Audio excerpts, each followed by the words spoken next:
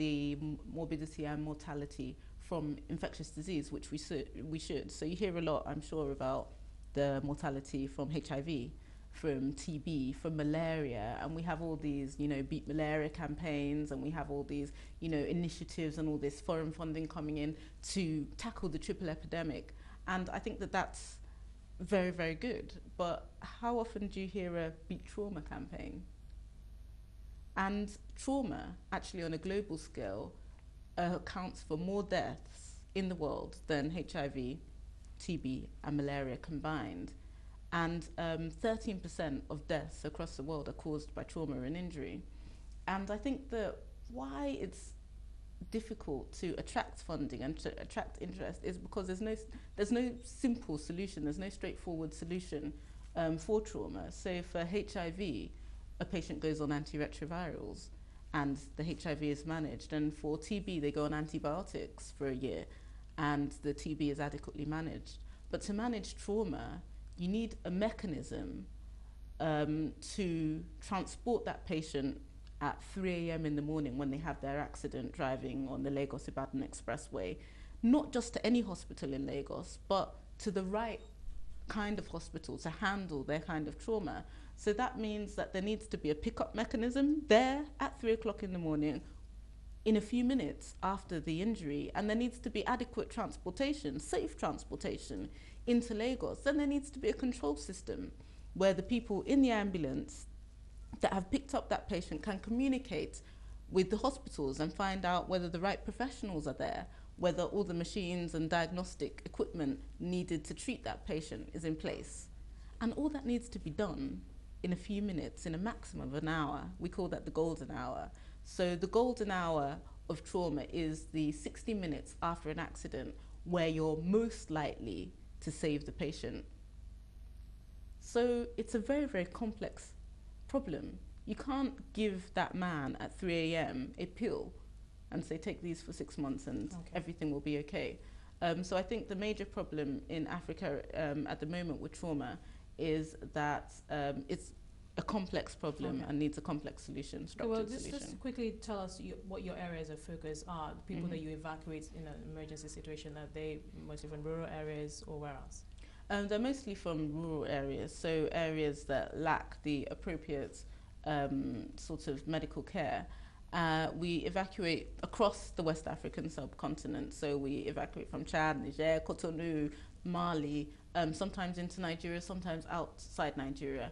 But the whole concept of our air ambulance, I guess, like any air ambulance anywhere in the world, is to remove people from an area where they've overwhelmed the level of care available to them to a more suitable level of care for them. Now, if we're looking at you know majority of your patients that you evacuate, you know, coming from rural areas, we know that those are very low income mm-hmm. areas. Mm. Isn't that a drag on your finances? Uh, is it something they can afford? Um, I think the affordability of healthcare is a worldwide emergency at the moment. And I think that we really, really need to look at how we can provide solutions to Africa's poor.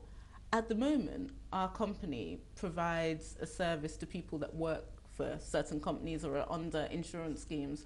But how many people in Nigeria are actually under an insurance scheme? We have very low, some of the lowest actually, health insurance penetration in the whole of Africa. So we need to really seriously look at this. Um, we as a company, in collaboration with other private sector providers and the government to see how we can actually make sure that the maximum number of people benefit from services like ours. Okay, let's talk about challenges that you face uh, perhaps on a day-to-day -day basis. I imagine, you know, all, obviously all hands must be on deck. Things, you know, happen rapidly in Absolutely. a matter of minutes and, you know, maybe a couple of hours. But how do you get around them?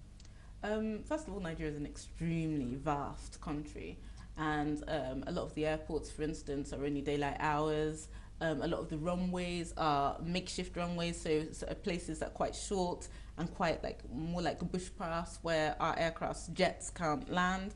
And some of the areas are, you know, a good um, while offshore as well. So we have to take into consideration a number of um, unique features about Nigeria um, when doing our work. And these are some of the challenges, of course, landing getting everybody to airports in the middle of the night, especially daylight only airports, to open them up and make it safe for us to land. So logistics, um, communication as well. We have notorious phone lines at the moment. So actually the process of communica- um, communication, especially to people in rural and remote areas, can be quite difficult. We have areas that we evacuate where only one network works or and that is even fluctuating and satellite phones don't work. So how uh, some of the problems that we face are also due to communication and the infrastructure as well. Moving people from some areas in some more rural areas to a place where our aircraft can land mm-hmm. by road is sometimes extremely difficult. There's some roads that are only passable during dry season and not in rainy season. So just the basic emergency medicine okay. planning becomes a lot more complex than if oh, we're oh, working okay. elsewhere. Now, how much do, how much has uh, has changed within the medical trauma space since you began operations three years ago? Um, I think a lot has changed. I think that there are um, a lot more um, doctors that have come up with innovative businesses. Um, to help the um, the rural poor, I think the um, the Nigerian actual national healthcare insurance scheme is also expanding and doing its best to provide the minimum, minimum amount of cover for the poorest people. I think people have started looking to India um, for cheaper solutions, more affordable solutions to our healthcare needs as opposed to looking to the West where healthcare is quite expensive. And we've managed to move down our costs of healthcare by implementing some of those solutions. Would you plan to expand perhaps in the short term? I imagine, you know, some of the equipment that you use are quite expensive. I mean, you probably would require quite a fleet of planes or helicopters, you know, choppers or something. There's a quite you know, capital intensive uh, equipment. Um, we do plan to expand. We serve quite a large area um, all of West Africa basically we, we cover. So we do, do plan to expand and looking to getting more aircrafts, especially in our rotary wing area um, where these difficult to reach rural areas and villages, um, we want to make sure that we can land in, continue to land in playing fields, continue to land on roads, etc. Um, and that's very important.